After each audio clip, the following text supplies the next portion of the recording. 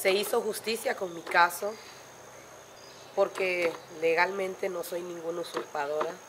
Las tierras que defendemos son nuestras, pero la mafia del juzgado le otorgó eh, los papeles al canadiense que a sabiendas ellos, que ellos son los que usurpan nuestras tierras y territorio en las comunidades. Insólito, ¿no? Nosotros como garífunas estamos actualmente recuperando nuestras tierras, ya que en nuestra comunidad en el año 2000 se hizo un proyecto que se llamaba Mutu, que era para las mujeres de la comunidad.